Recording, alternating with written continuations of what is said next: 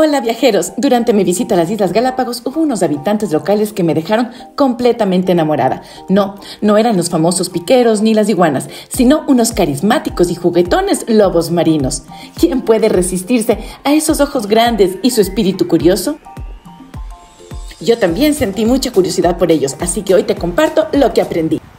Lo primero que debes saber es que estos lobos marinos de Galápagos son únicos. Aunque parecen pequeños comparados con sus primos de otras partes del mundo, son los reyes del carisma. Son tan juguetones que hasta se acercan a los humanos para investigar. Si buceas cerca de ellos, prepárate para convertirte en su juguete personal por unos minutos. Pero no todo es acción. Estos campeones del descanso pueden dormir hasta 20 horas al día, especialmente después de una buena comida de peces. Durante las horas más calurosas, los verás buscando sombra o dándose un chapuzón para mantenerse frescos.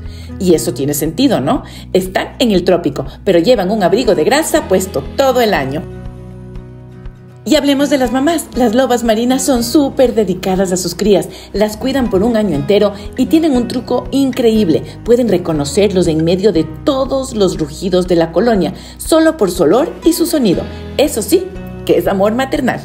Pero estos adorables habitantes no la tienen nada fácil. En el agua enfrentan a tiburones y orcas.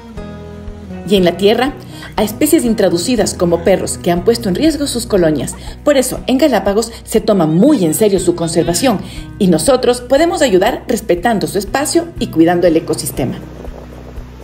Si visitas las Islas Galápagos, asegúrate de tomarte un momento para observar a los lobos marinos. No solo son adorables, sino que también son un símbolo de lo increíblemente especial que es este lugar.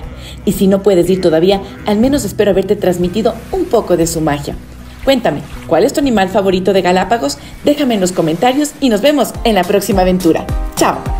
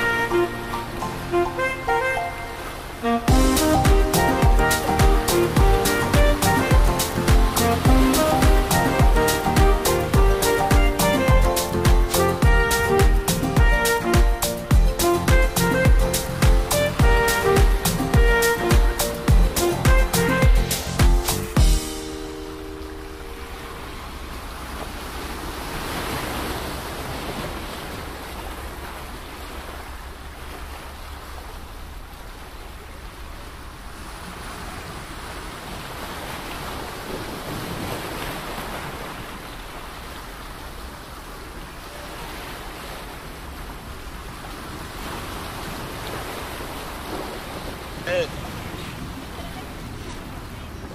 え